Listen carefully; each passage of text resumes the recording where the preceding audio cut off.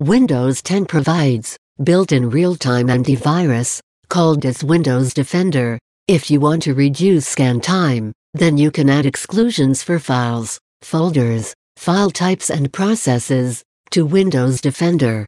If you are confident that these exclusions are safe, then let's see how to add exclusions for Windows Defender.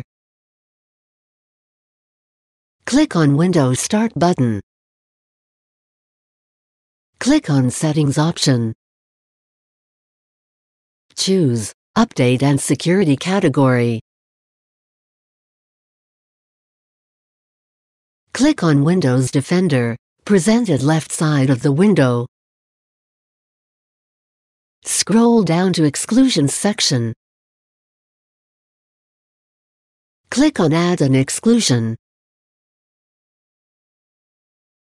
To exclude a file, click on Exclude a file. Select the file, and click on Exclude this file.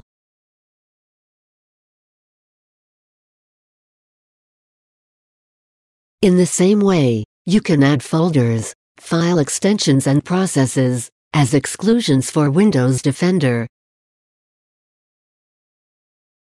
To check out more tech videos, click here.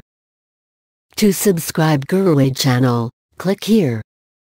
For instant tech support, call GuruAid toll-free numbers